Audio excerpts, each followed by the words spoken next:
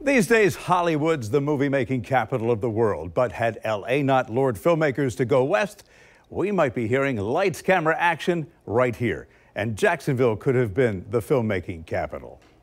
We know what our modern day Jacksonville skyline looks like. Well, let your mind wander a bit and travel back in time. In the early 1900s, there were TV production studios here in the River City. Back in the day, silent film stars would walk right down here by Main Street, and people would gather.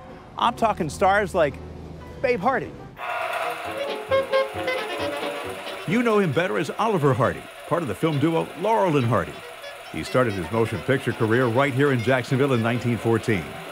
Among the other silent film stars who made movies here, Rudolph Valentino and Lionel and Ethel Barrymore. It was mainly independent filmmakers who flocked to Jacksonville, according to film historians. They came here because of the climate, exotic locations, architecture, and rail access. Jacksonville became uh, really what was known as the winter film capital of the world, and this happened around 1908. Most of production back in 1908 was done up in the New York, New Jersey area. What was happening though in the wintertime, they were out of luck. It was cold, that created problems with the uh, cameras, the film stock. Somebody thought, uh, well, let's do some filming down there in terms of uh, being able to shoot year round. In 1920, Richard Norman was producing films. Norman, who was white, didn't like the way black actors were always portrayed in subservient roles. He wanted to change that. So when he moved here and established his studio, he produced a movie in 1926 called The Flying Ace. It employed an all African American cast and was shown specifically to African American audiences. He believed that people ought to be treated right and they ought to be portrayed correctly. And he thought that he could make something that would uh, portray them, portray African Americans as they really were, and not as, you know, some racist saw them. The stereotypes. Exactly. The film was made at this site where Norman Studios is now being refurbished for history's sake.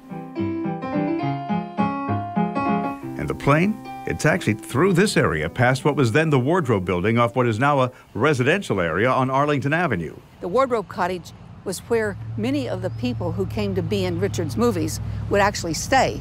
Norman Studios made movies in Jacksonville for about a decade, but when the silent era ended, never made the transition to talkies. So why did Jacksonville lose out on becoming Hollywood East? Seems the movie makers saw the people who lived here as being a bit too conservative.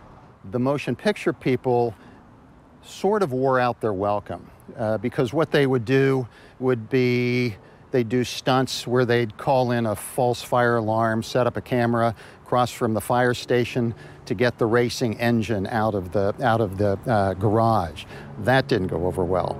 Plus, they would shoot, uh, they would go into areas of town uh, on Sunday when everybody else is in church, just so they have really the downtown area as their own set. People in Jacksonville, Sunday, you don't work on Sunday. So that didn't go over well. Consequently, filmmaking industry here dwindled. You had a mayor who took office who didn't take kindly to the movie makers. An influenza epidemic in 1918 didn't help, nor did World War I. Then there was Hollywood's glamour, all proved too much for Jacksonville. And while there's some filmmaking that still goes on in the area, Jacksonville never regained its former glory, nor became Hollywood East.